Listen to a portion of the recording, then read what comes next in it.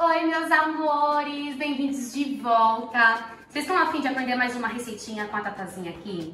Hoje, gente, eu vou ensinar a fazer o melhor estrogonofe de carne, gente, é sério. Ele é muito fácil de fazer, poucos ingredientes e tipo assim, você vai arrasar na sua casa, vai falar que aprendeu a fazer o melhor estrogonofe com a Tata Pereira, tá bom, meus amores?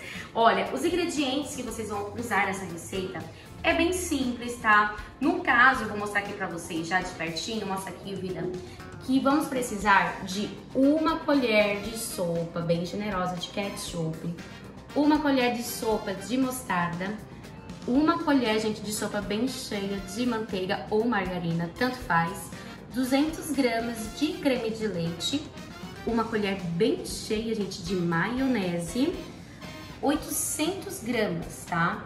De carne, picadinha assim, a gente faz estrogonofe, tá? Se você não souber cortar, só chega no açougue e fala assim, ó, por favor, quero assim, tá? 800 gramas, cortadinha pra mim fazer meu estrogonofe. Aí já facilita a sua vida, né, meu amor? Porque a gente faz assim, a gente facilita a vida de todo mundo aqui.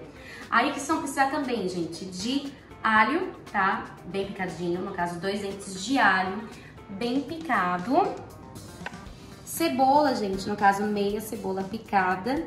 E vamos precisar também de cheiro verde picadinho assim. Para os temperos, vamos utilizar o sal, que é a gosto, uma colherzinha, gente, de chá de salsa e também de páprica picante. Então, bora colocar a mão na massa, meu povo! Essa receita ela é bem tranquila mesmo. O que eu vou fazer, gente? Aqui, na carne já picada, eu vou acrescentar a nossa querida e deliciosa maionese.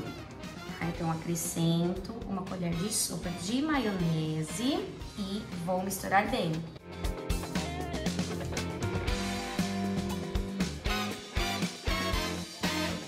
Bom, então misturamos bem. Vou deixar aqui de ladinho porque já vamos pra frigideira, gente. Falei pra vocês que essa receita é papum, então vamos lá. Então aqui na frigideira eu já vou ligar o fogo. Gente, ó, então liguei o fogo aqui.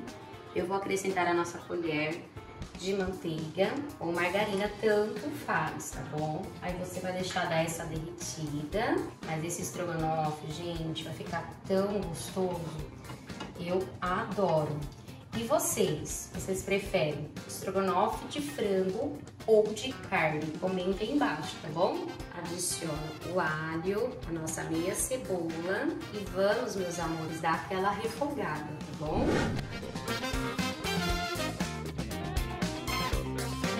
Nossa, eu adoro cozinhar. Aí eu fico vendo, né? Só a família perguntando, as criançadas, o maridão.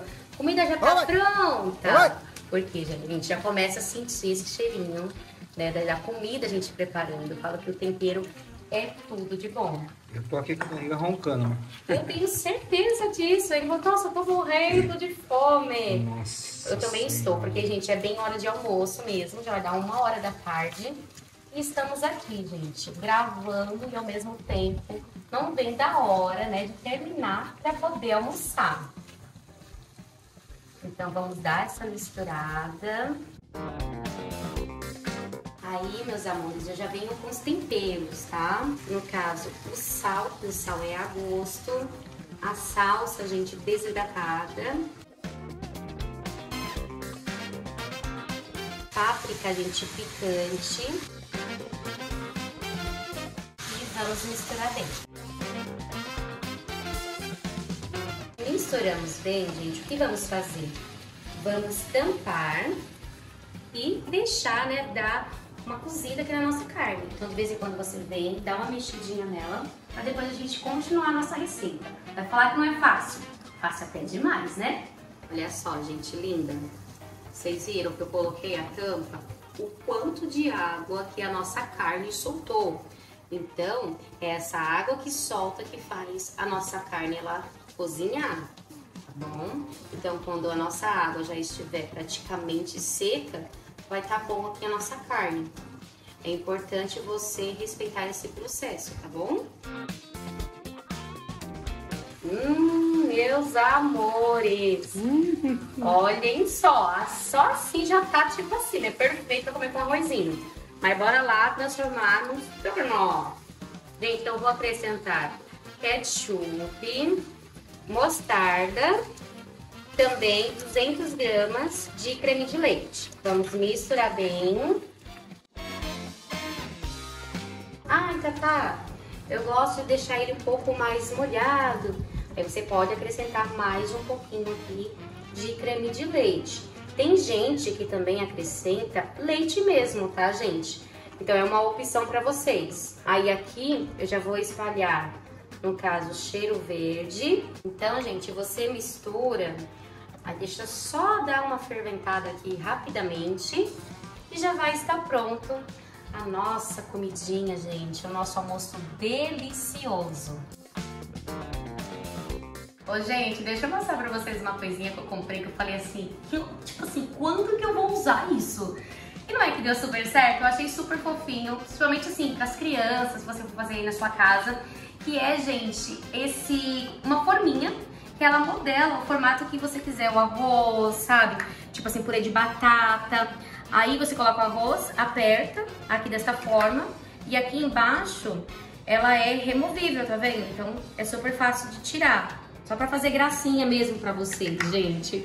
Achei uma fofura pra quem tá me acompanhando nos vlogs tá vendo tudo que eu tô comprando e mostrando pra vocês. Uma das coisas que vocês falaram, gente, testa, vai testando aí, tá, tá as coisas que você comprou e aqui está, gente, né, a forminha. Eu achei super bacana.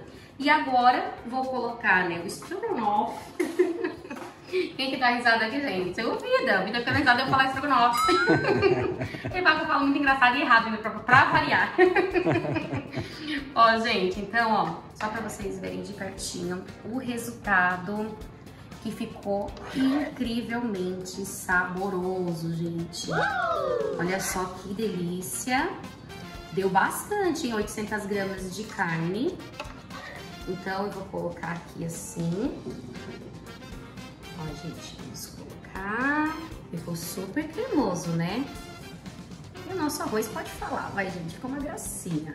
Ah, mas tá, eu não tenho forninho, o que, que eu faço? Faz com copinho, gente sabe? Pega um pó, um potinho na sua casa e modela. Eu falo assim que é mais a questão do carinho, né, que você vai servir para sua família. Pode jogar de qualquer jeito, sim, colocar no prato no lateral? Pode, gente. Mas eu gosto dessa coisa, sabe, de, de dar um detalhe, dar um, um tchan da tatazinha ali, tá bom? Então aqui, o que combina muito, gente, com essa receita é a batata palha. Então vamos colocar aqui de lado a batata palha.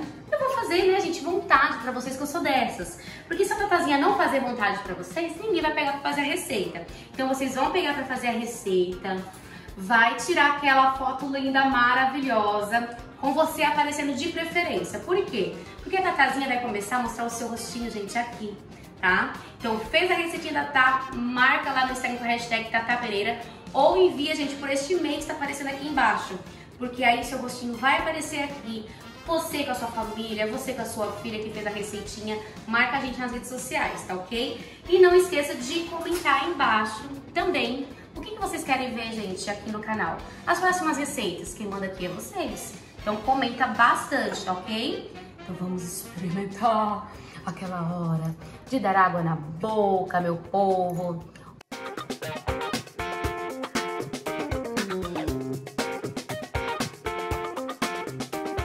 Muito obrigada pelo carinho.